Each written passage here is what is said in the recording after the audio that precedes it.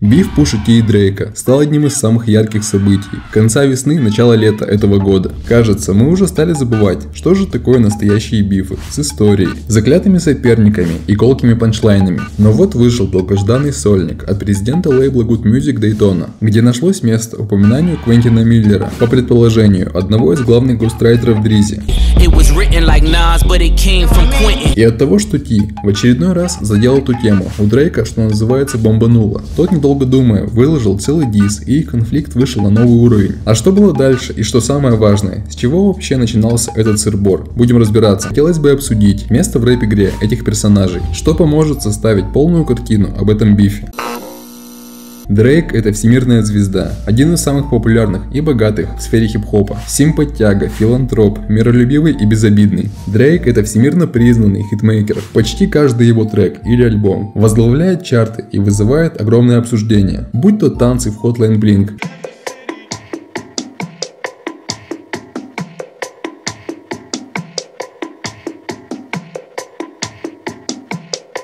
and they wishin' and wishin' and wishin' and wishin', they wishin' on me. Yeah, that's right. Look, yeah, you got the right idea. А также Дрейк умело следует трендам, пропуская их через свою харизму. И на выходе его музло всегда актуально. Что касаемо street credibility или доверия улиц, то ситуация неоднозначная. С одной стороны, Дрейк исполняет рэп, у него есть флоу, рифмы, панчи. Но вместе с этим он может себе позволить выпускать попсу. И от былого лояльного отношения не остается и следа. Он не особо принимал участие в бифах. Если это и было, то складывалось ощущение, будто это все специально, дабы люди поверили в его true. Как будто хочет усесться на двух стульях, остаться и в поп-среде котируемым, но при этом быть уважаемым в рэпе. Однако, с другой стороны, он не может всем отвечать и конфликтовать. Все же, у него огромный охват аудитории, и ему банально это невыгодно. Пуша же это настоящий хип-хоп, читает рэп с 92 -го года, то есть с 15 лет, и на данный момент артисту уже 41. Однако по его голосу этого совсем не ощущается, у него нет усталости в связках, он свеж и готов рвать. Взять даже треки с последнего релиза, его флоу просто пушка. Just can't leave that Yo, just touchdown. I'm so grateful. Number so low. Bitch, be thankful. They say don't let money change you. That's how we know money ain't you. Как будто это 20-летний пацан читает, а не рэпер с 26-летним стажем. Papa Willie tell the judge the Acanelli.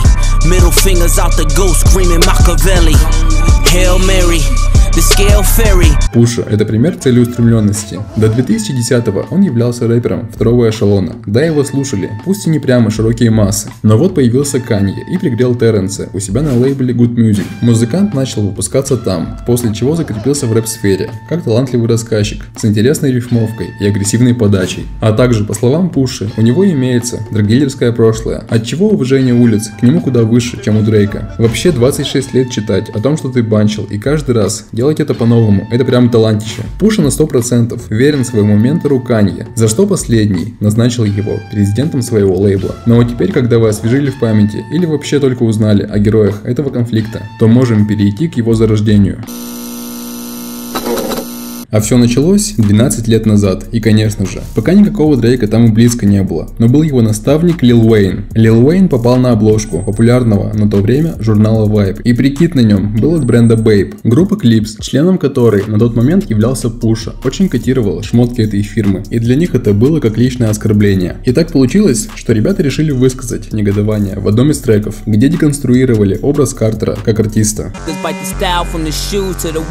обвиняя его в том, что он все украл у других, от лирики, восточного побережья, до флоу западного, а его внешность это всего лишь элементы карикатурного рэпера. Об этом они трубили во всех своих интервью и пытались поднять шумиху, используя в качестве контраргумента фотографию, где он целуется с Бёрдманом. Это приветствие такое, если что. Само собой. На тот момент Лил Уэйн уже был суперзвездой. И как-то отвечать клипсам у него не было ни малейшего желания. Слишком большой хайп был бы для них. В дальнейшем Пуша и сольно, и в составе группы не раз подшучивал над Визи, но по-прежнему ответа не получал. И вот спустя 5 лет до него снизошел Дрейк и в одной из своих строчек кинул камень в огород лейбла Good Music. Говоря о том, что его любимые рэперы или пропали, или вовсе не родились. Услышав это, Пуша был несказанно рад, что наконец-то его заметили и можно вступить в конфронтацию. Террен записывает дис на тот же бит, где заступается за старую школу и прежде всего за своих менторов Канье и Хову. Почти через год после того, как они обменялись любезностями, Пуша нанес мощнейший удар по Young Money Records и Cash Money Records, что попали в большой финансовый кризис. Контракт не позволял Уэйну выпускать альбомы без согласования с Бёрдманом. Бёрдман же должен был Уизи огромной компенсации, около 50 миллионов зеленых. Вследствие этого почти что отец и сын начали выяснять свои отношения в суде. Отец даже нанимал киллеров и обстреливал автобус Картера. Пуша высмеял эту ситуацию. Damn that shit, even the odds now. You better off selling this hard now. You call it living out your dreams? You can't fly without your wings. И Дрейка в том плане, что его наставники устроили такую Санта-Барбару. В сентябре 2013 года, уже через полтора года после выпада Пуша, Дрейк на своем релизе признается в верности Лил Уэйну. Он говорит, что стал большим артистом, но главным в этой игре остается Уэйн, и с этим лучше не спорить. Далее, Пуша куда-то пропал и редко радовал материалом, а Дрейк забирался в индустрии все выше и выше. В 2016 уже после огромного скандала с обнародованием информации о густрайке для Дрейка, Пуша просто не мог не напомнить об этом, обвинив его в том, что он называет себя самым искренним в индустрии. Но как можно быть таковым, если твои тексты написаны другими людьми, и практически весь твой рэп это бутафория?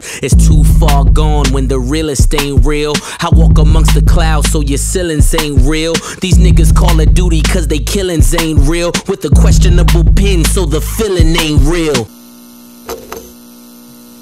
Однако, Дрейк не так прост, и его действия были фатальными. Он все хорошо продумал и попал в яблочко. На прошлогоднем альбоме Дрейк целый трек посвятил трем главным врагам – Микмилу, Пушу и Киткади. Пушу он обвинил в том, что его уличное прошлое и драгдилерство – всего лишь легенда, чтобы понравиться публике.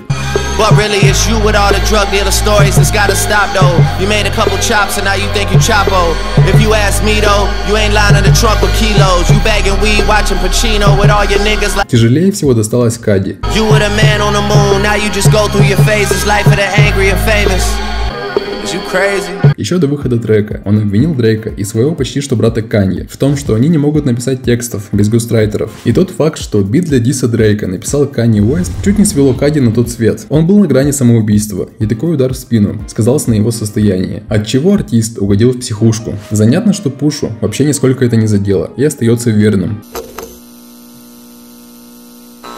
Конфликт вроде бы стих, и все это время Дрейк получает всевозможные премии, платиновые сертификации. Но вот мистер Уэст анонсирует на 25 мая альбом от Пуша Дейтона. И конечно же, там нашлось место строчкам про Дрейка. В треке Infaret идет упоминание Квентина Миллера, что он написал куплет Дрейку на фите с Микмиллом и других работах. Like Nas, он упрекает его в том, что нынешний успех связан лишь с битами. При этом отмечает королей лирики Джей Кула и Кендрика. Они настоящие, а ты всего лишь сам самопровозглашенный. Да и как ты вообще смеешь открывать рот, если тексты тебе пишут другие, а ты всего-то голос? Разумеется, Дрейк был готов к такому повороту событий и прямо в день релиза представил свой ответ Duppy Freestyle. На нем он упрекает Кани в том, что он бездарен, и его ученики намного талантливее, чем он сам. И Пушу в очередной раз он обвинил во вранье насчет криминального прошлого.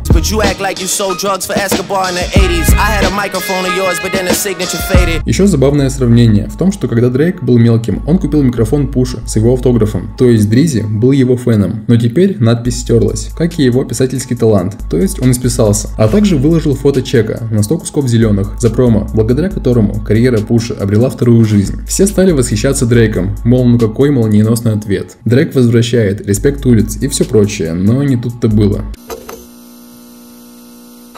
Спустя два дня Пуша презентует на SoundCloud трек The Story of Adidon. И такого злобного ответа никто не ожидал. Прям грязи, как любит Птаха. Выбор делать дичь прям совсем лютую, прям грязь-грязь. Либо делать грязь, но не прям совсем. Я решил делать грязь, но не прям совсем. Потому что совсем прям грязь это прям. Уже обложка могла ранить чувство темнокожим, так как на ней Дрейк с блэкфейсом. Это шутливое изображение темнокожих белой расой. А так как на Западе почти в любом действии видят расизм, то уже одна облога, сильный удар по репутации композиции. В этой композиции Пуша читает о всех больных темах для Дризи. Болезнь его продюсера. Да, это аморально. Но и Дрейк в 16 году потешался над Кади. Упоминает его семью, которую бросил отец. Sophie knows better as your baby mother. Cleaned her up for IG, but the stench is on her. A baby's involved, it's deeper than rap. We talking character, let me keep with the facts. You are hiding a child, let that boy come home. Ну и вишенкой на торте стала инфа о якобы скрытом ребенке Дрейка, матерью которого является порноактриса Софи Брусо. И после этого диса поднялась огромная шумиха, и большая часть перешла на сторону Пуша.